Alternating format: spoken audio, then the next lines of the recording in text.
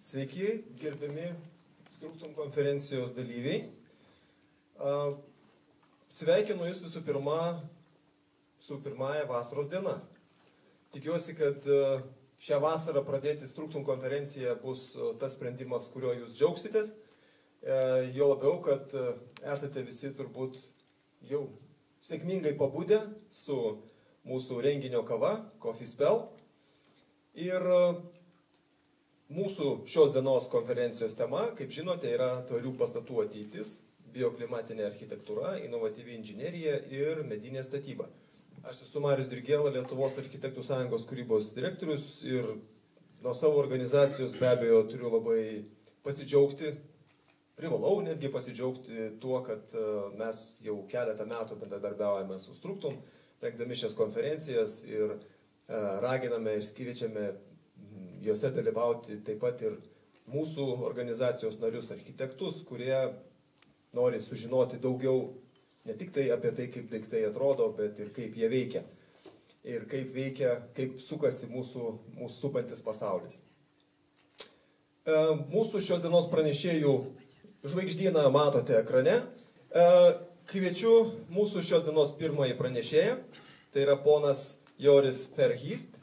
Jis yra kompanijos Vikona komercijos direktorius Šiaurės rinkai. Jo pranešimo temą matote ekrane. Nevarginsiu jūsų skaitydamas. Prašau. Thank you. First of all, I'm very sorry, but I don't speak Lithuanian, so we have to do it in English, French, German, Spanish, or Dutch. I think English will be okay.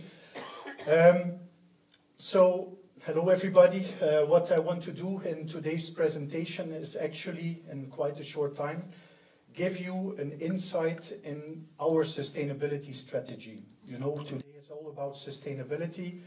I want to learn to you what was the journey that we started, let's say, five, six years ago.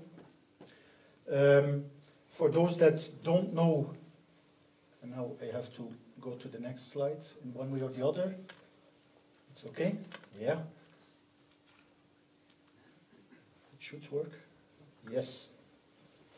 What uh, we actually do in the Wicona world, we are an aluminium system supplier. So what does this mean? Our company develops and sells systems where you can make aluminium windows, aluminium doors, facades, big facades, uh, sliding systems, of which you see here some, uh, some projects which you will most likely recognize. Uh, and that's our world. So everything what you see as an aluminium system in a building, that's what we supply. So why did we start uh, working on the sustainability strategy? Well, it's very obvious. The first reason is climate change. We all are part of this story. We all know what it's uh, about. We know, and this was on the news last week, that uh, the, the, the, we are looking at at least 1.5 degrees increase in the future, and the likelihood for this is already 66%. So climate change is really something that is affecting all of us, and all of us in our daily life in our construction, we will to need to change uh, because we cannot continue like we currently do it. But on top of that, we know that in the next uh, decades, we will have another 2 billion people more on the globe. So we have to reduce the impact of humanity, but we will have to reduce that with an additional 2 billion people. So that's quite a big challenge. And we also know that most of these people in the future, they will live in cities. 70% will live in cities. So the way that we operate, the way that we organize, that we do master planning of cities will have to change. We have to take care of pollution. We have to take care of acoustics. We have to take care of, let's say, wildlife in cities and so on. So quite a big challenge. And what we also see is that in the last uh, year, let's say, due to the energy crisis, we are now confronted with uh, increase in material cost. We are being confronted with uh, labor cost increase, which means that also the way that we are using materials and the way that we have to build will have to be more efficient. We need to reduce mat material usage. We need to be more efficient in the production process in order to be affordable in the future. So for those people that say, okay, yeah, it's not really my problem, uh, I, I think that legislation will push us uh, into that. Why? Because, you know, Europe, it's a front runner in that. Uh, Europe has said, okay, we have some climate ambitions, we have to take care of climate change. So we will start imposing legislation. So for people that say, okay, it's not really my problem, I don't think you will have a choice anymore. You will really have to be part of this journey. Yeah? Um, and that's actually definitely for the construction world, because the construction, directly or indirectly, it's responsible for 39% of global CO2 emissions. So this means that governments are really looking at construction world, at, at buildings. Yeah? We really have to change. So that's why we created in the Wicona world a new campaign which is called Build Beyond Tomorrow. It's, it's a holistic approach of how we approach things to be future-proof in the construction world as an aluminium system supplier. And what is Build Beyond Tomorrow all about? It's actually about three levels. First of all, we have been focusing a lot on products. Um, yeah, on products. And this is the part where I will actually spend most of my time today to talk about what we did in order to improve our products from a sustainability perspective. Secondly, we are talking about the company, so we have done a lot of efforts to reduce the impact of our company. And thirdly, we are looking at society, and this is us. This is us together. What can we do as a system supplier together with you in order to reduce the effect on climate change? Yeah? So, in my world, I'm now working in the company for about 23 years. I think the biggest change that we have had in our company is when we started looking at a building not only from a use stage, where you have a performance criteria, but really looking at the full life cycle of a building from a carbon perspective. This really was an eye opener for us. So we still need to focus a lot on the use stage. Yeah? So you go from uh, a design of a building, you go to the material choice, you go to the use stage, which is the 30, 40 years that you are using the building, and then you need to consider the disassembly, the dismantling, the demolition of a building. So when you look at the use stage, as I already said, 39% of global CO2 emissions related to buildings, 72% of that is still in the use stage, the way that we are cooling and heating our buildings, so that's where we are still focusing on. But what will also become more important is the construction phase. And I will first talk a little bit about use stage, and then uh, we will go to the construction stage. For the people that are in the architecture world or in the consultancy world, you know, buildings are becoming more and more complex. You know, in the past, the criteria were quite limited, but nowadays, when you are thinking about a new building, the amount of parameters that you see there, it's really quite complex, and you need to find a balance between all these parameters. But what I like a lot is that sustainability now is becoming part of our daily life. So it's not only anymore about performance criteria, it's also about sustainability. And that's really very positive that we see that this becomes a daily topic. So what are we working on as an aluminium system supplier? Of course, we are still working on thermal insulation. You know, triple glazing, it's something which I have seen yesterday in uh, Lithuania. This is normal, but if you talk to the countries in the south of Europe, triple glazing, it's really not yet a big topic. Yeah? We need to improve thermal insulation of buildings in order to do a reduction of the cooling and the heating of the buildings.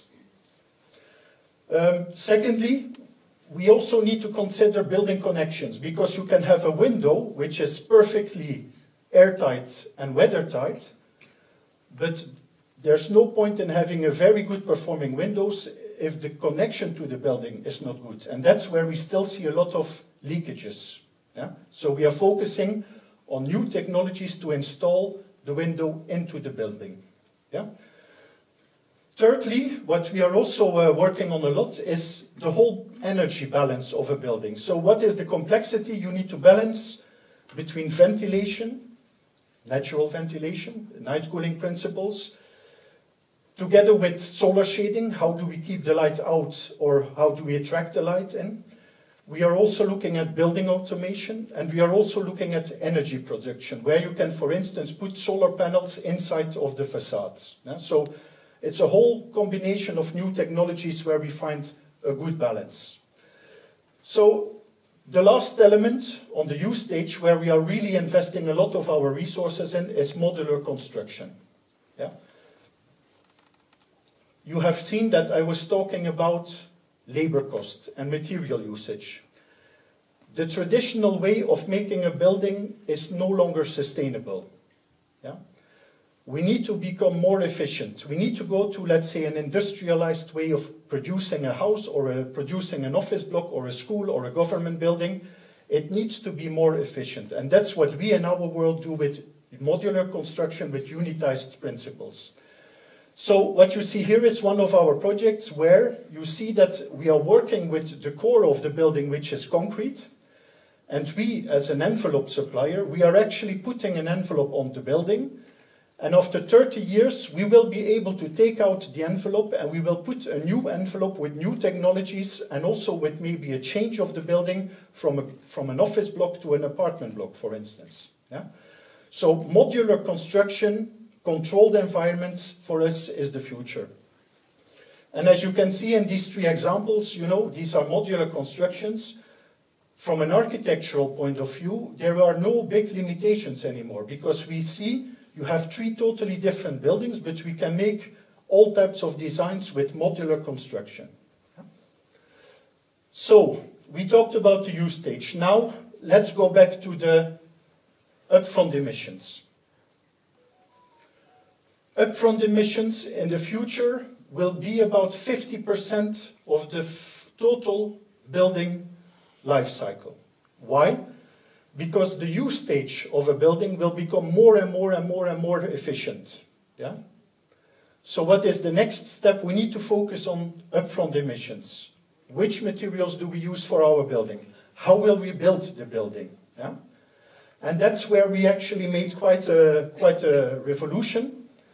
So if you take an example of an office block, we have made a research on that, and here you see a split of materials from a carbon perspective of an office building. You see that the choices between the materials will have to be made. Designers, architects, they will have to make a, an analysis. Which material should I choose? Should I go for more concrete? Should I go for more glass? Should I uh, start introducing wood? Should I look for new materials? And I'm certain that in the next 10 years, the change of materials will be visible because certain materials are more sustainable than other materials. Yeah? If you look at our part, fenestration and facades, we are accounting about 13%. Um, yeah. If you uh, look at the window, for instance, from a weight perspective, of course, the glass is the most important. You know, the glass, it accounts for the weight, it's 60% of the weight of a window. But from a carbon footprint perspective, it's totally different because if you start calculating a window from a carbon perspective, actually, our component, the aluminium, it's actually the worst. Yeah? But we are coming with new solutions, and this I will show you today. What um, is happening in the aluminium world is actually not so positive. So, in the world, aluminium is still produced globally, unfortunately, with a lot of coal. Yeah? That's, of course, not good. You see, China, India, and all these countries are still using coal to produce aluminium. In the Middle East, they use gas.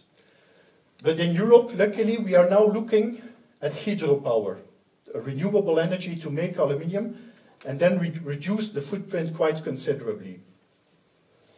So that's where we made a revolution in our world, uh, which is four years ago, we started introducing new alloys. And this is quite an important picture. So if you have a traditional one kilogram of aluminium that you produce in the world, you generate about 16.7 kilos of CO2. On average, globally. When you look at Europe, we are doing already quite good because depending on whether you take into account import or not, we are between 8.6 and 6.7 yeah, for producing one kilo of aluminium.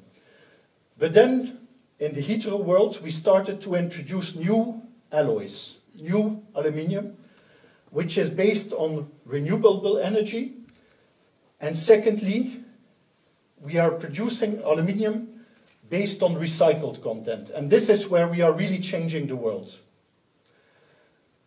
What we are currently doing, we are actually using old windows, old aluminium doors, old facades, old sliding systems. We are collecting them into our facilities and we are recycling them to make new windows. And this is really where we are making a big difference because we are reducing the footprint from 8.6 on average in Europe to 2.3 by taking 75% on average of post-consumer scrap. Yeah? So that's quite a big impact. We are not using scrap from extrusion process, we are really taking back old windows and recycling them to new windows. So, um, you see that it's not only on the global warming potential that we're making improvements. On all the sustainable parameters, we are actually improving our footprint of our products considerably by recycling. And recycling, not only for our world, but for a lot of building materials, will be the future to reduce the footprint of buildings. At the moment, in the Wicona offer, we have windows, doors, sliders, facades. Everything is now based on recycled content. Yeah? So this means that anybody in Europe that wants to buy one window or, or has one house or one full building out of Wicona will get recycled content. And of course, people say, yeah, but Yuri's uh, recycled material quality cannot be good and so on. This is not true. We are aluminium experts. We guarantee the same quality of the recycled material compared to the primary material. Yeah? This is quite a big revolution. But it doesn't stop. Yeah? So we have a, a premiere for, for last month. In our group, we have been able to make the first project which is made out of 100% recycled aluminium. And this is the project. It was designed by uh, Hadi Teherani Architects. It's based in Germany, in Augsburg. It's called Innovationsbogen. And this is the first project in the world that has been produced based on 100% recycled aluminium. So we take 100% old windows and we recycle them to entirely new facades. Quite a big revolution. And this is the future. Why can we not offer 100% on everything? Simply said, because the production process is not efficient enough. We are investing in new technologies, and maybe in five, ten years, we will move from 75% recycled content to 100%. But at the moment, the technology has to be improved. Okay. I talked a lot about aluminium, but that's not the end. So as you can see, this is a cross-section of a window. The middle of a window, there's a lot of synthetic components. Yeah? Polyamide. Why do we need polyamide? Very simply said, aluminium is very conductive. You need to make it insulating. So we put synthetic materials inside of our products to make it insulating. We are now moving, or we have moved, to move these materials from primary materials also to recycled content. So we are taking parts from cars, we are taking parts from carpet industry, we are taking parts from airbag industry into new polyamides to make new windows. Yeah? And that's where we come to a new campaign. So we move away from only aluminium, we go to a full system. Yeah? So on the new product, this is a new facade that we have launched very recently. 75% of this facade is based on recycled content, not only aluminium, but we are also using plastic bottles to make our insulators. We are making polyamide recycled materials, everything based on recycled content.